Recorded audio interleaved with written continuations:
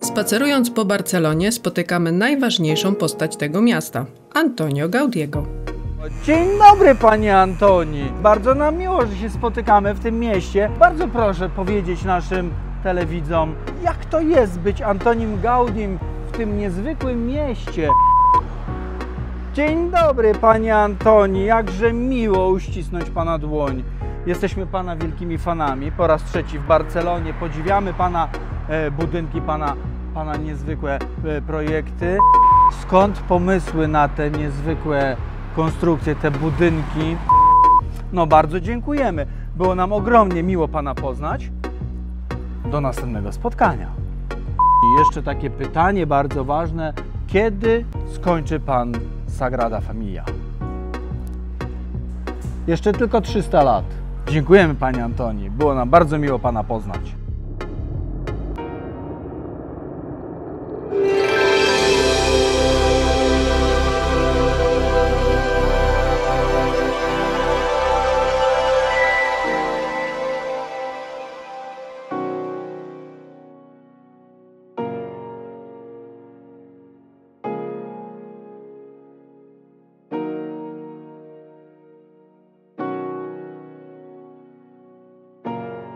Cześć! Hola! Zapewne chcecie wiedzieć, kim jest Antonio Gaudi i dlaczego jego nazwisko jest tak znane.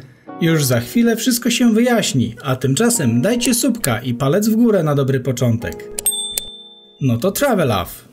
Antonio Gaudi był architektem epoki modernizmu, czyli przełomu XIX i XX wieku. który stworzył współczesny wizerunek Barcelony w Hiszpanii. Naszą opowieść zaczynamy od górnego C, czyli największego dzieła Antoniego, katedry Sagrada Familia. Dla Gaudiego był to projekt życia, któremu poświęcił aż 40 lat.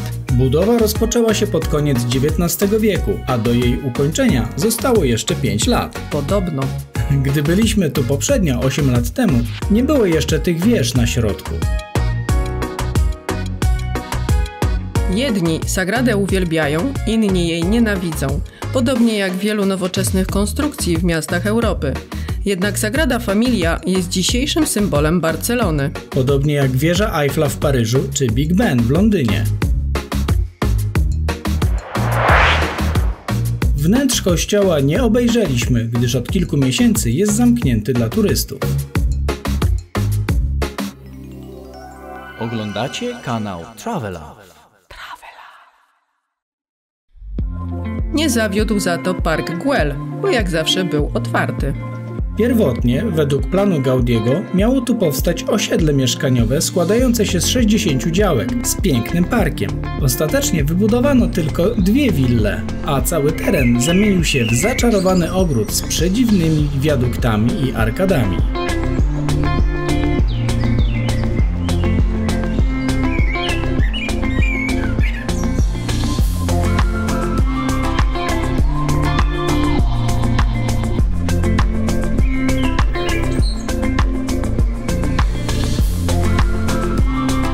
Parku Güell prowadzi kilka wejść, ale my zaczynamy zwiedzać niestandardowo, jako że mieszkaliśmy niedaleko stąd i nasze wejście prowadziło do willi z wielkim zegarem słonecznym.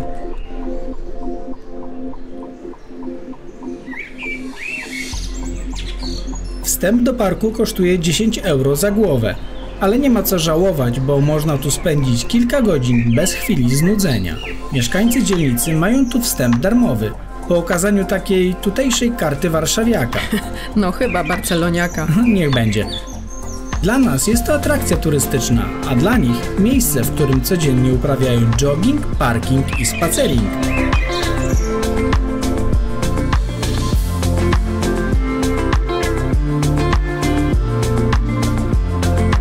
Budynkiem, jaki można podziwiać w parku, jest dom Gaudiego. Dziś działa w nim jego muzeum, choć i ono w maju było jeszcze zamknięte.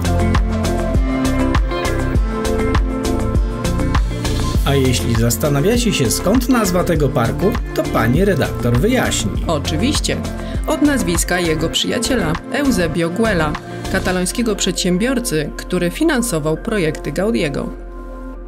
Z wdzięczności Gaudi nie tylko nazwał park jego imieniem, ale zaprojektował dla niego posiadłość i pokaźny pałac w centrum Barcelony. ale do tego jeszcze wrócimy. Dom Gaudiego otacza bajeczny ogród botaniczny.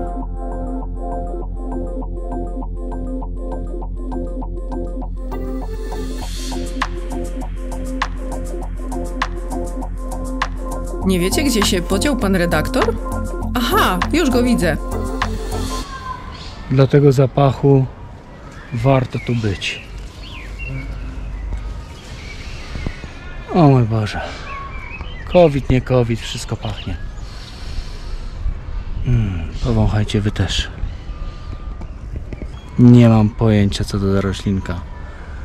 Ale te krzaki pachną po prostu jak bajka. Mogę tu zostać. Zostanę pierwszym No mów mi, co to za kwiatki? Może to hiszpański jaśmin? Jaśmin? Jaśminowym narkomanem. Ah, boskie. Kończ już to wąchanie, bo za chwilę wchodzimy na antenę.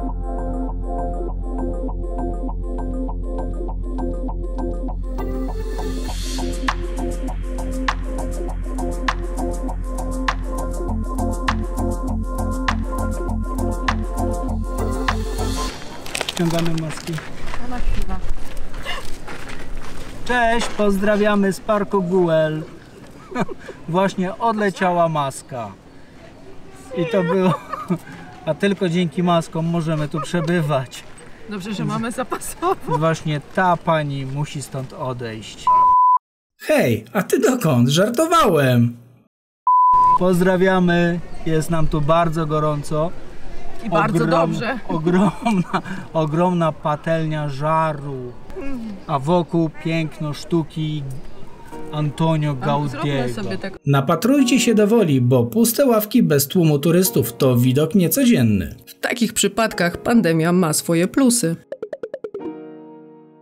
A jeśli spojrzeć na to z szerszej, a tak właściwie dłuższej perspektywy, jest to po prostu najdłuższa ławka świata. Ma ponad 100 metrów. Gaudi był prekursorem architektury biomorficznej, która inspirację czerpie ze świata natury, dlatego często sięgał po motywy roślinne i zwierzęce. Testował też różne rodzaje oświetlenia i materiały, spośród których do zdobienia powierzchni ścian i tworzenia wymyślnych dekoracji często sięgał po mozaiki.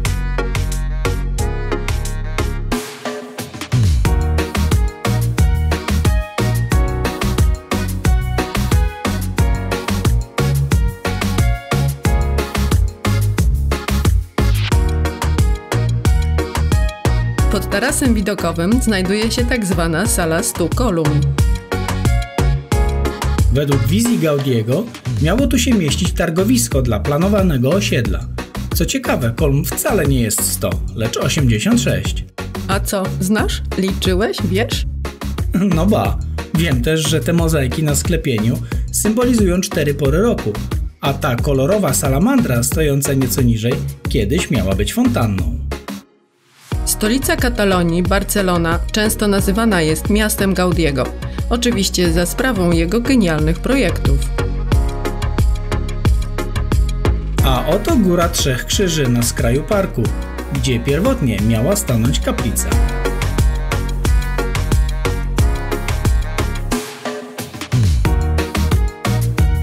Docieramy teraz do głównej bramy wiodącej do parku Güell.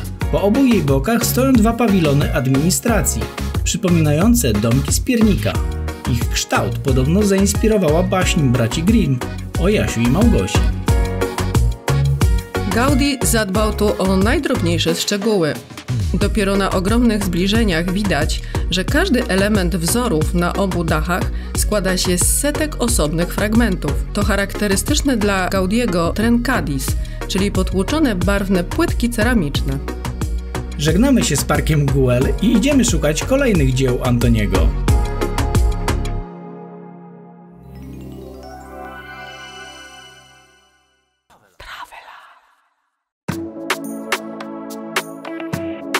Jesteśmy przy pierwszym budynku wykonanym według projektu Gaudiego. To Casa Vicens, wzniesiona niby w tradycyjnym katalońskim stylu, ale z wieloma motywami zaczerpniętymi z architektury mauretańskiej.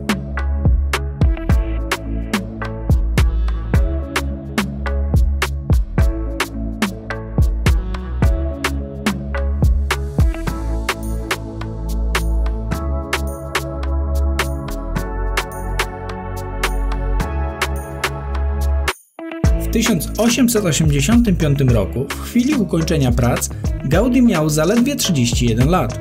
Można powiedzieć, że Casa Vicens była wtedy demonstracją jego rozkwitającego indywidualnego stylu. Dziś mieści się tu muzeum, reklamowane hasłem Casa Vicens, pierwszy dom Gaudiego.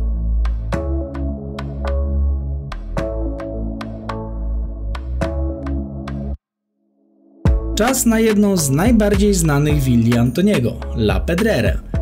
Większość jego dzieł dostępna jest dla zwiedzających, jednak kupując tu bilet wstępu, trzeba się liczyć ze sporymi opłatami. COVID nas nie pokonał, ale tu padliśmy na widok cennika. Mamy więc nadzieję, że nie obrazicie się, ale znowu nie weszliśmy do środka.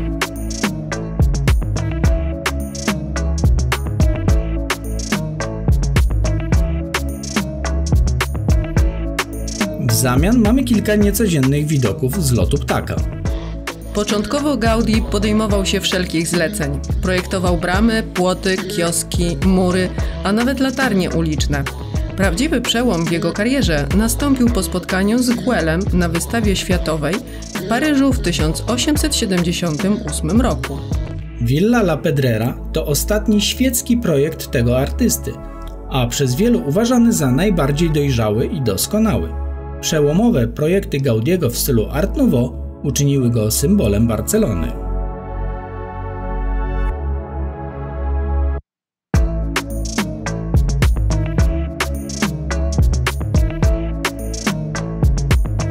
Otoczenie willi jest z nią bardzo spójne stylistycznie, co robi ogromne wrażenie na zwiedzających. Na nas zrobiło. Na stylistycznej ławce spotykam zachwyconą turystkę i zabieram ją na spacer do drugiej willi Gaudiego, która znajduje się całkiem niedaleko stąd. Stop! Widziałam pocztówki. Dlaczego mnie nie dziwi, że wszystkie są z Gaudim?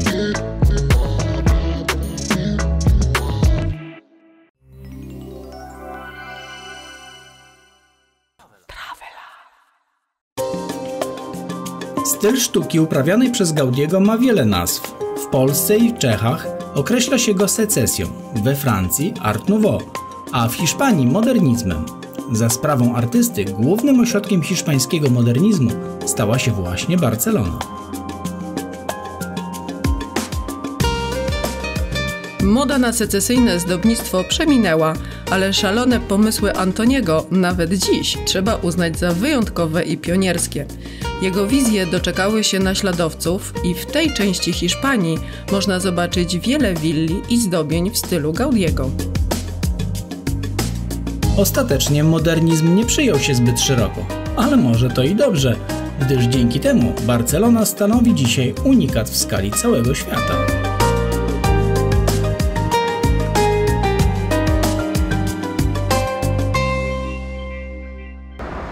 Po Barcelonie śladami Gaudiego, dotarliśmy do domu Guela, przyjaciela Gaudiego. Dom dla Guela wykonał Gaudi i na bramie zrobił mu takiego pięknego smoka, którego strzegł. Ale myślę, że Guel czuł się w takim domu jak księżniczka e, w zamku, e, gdzie smok odstraszał rycerzy.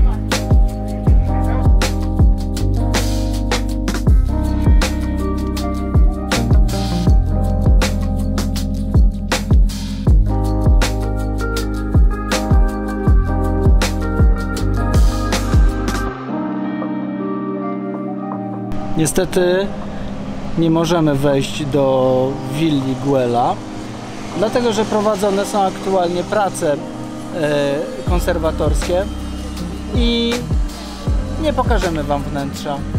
A o skuteczności smoka świadczy rana na moim czole, krwawiąca, bo smok bronił dostępu i nie mogliśmy wejść Był bardzo skuteczny, bardzo odważny. Walczył jak smok.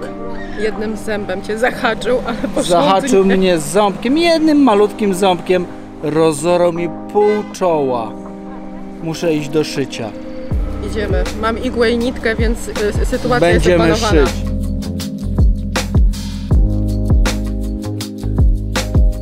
Na tyłach posesji Guela znajduje się Pałac Królewski otoczony sporym parkiem. Pałac widzieliśmy poprzednio, ale teraz był zasłonięty rusztowaniem. Za to park to świetne miejsce do złapania oddechu przed dalszym zwiedzaniem Barcelony. Zwłaszcza, że uciechy dostarczają tu małe zielone papugi, które potrafią wyrolować nawet gołębia. Naprawdę niezłe z nich spryciary.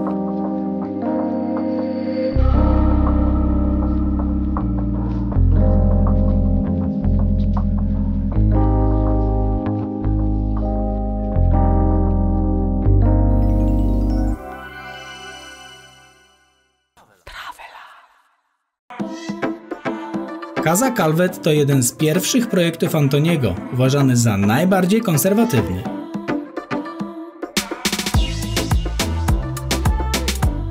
W 1900 roku otrzymał pierwszą nagrodę w konkursie na budowlę artystyczną Barcelony, o czym informuje tablica na froncie kamienicy.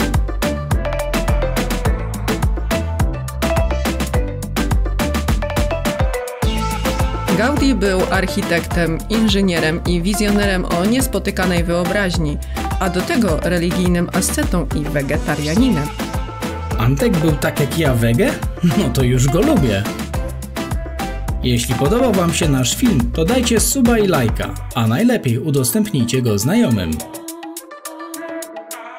Antonio zakończył życie tragicznie. Gdy próbował spojrzeć na kościół Sagrada Familia z szerszej perspektywy, wpadł pod nadjeżdżający tramwaj. Od 1992 roku trwa proces beatyfikacyjny artysty, zaś rok 2002 został ogłoszony rokiem Gaudiego. A już w następnym odcinku pokażemy kilka prawdziwych perełek Barcelony.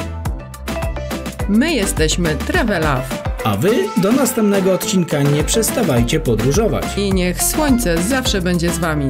Adios amigos!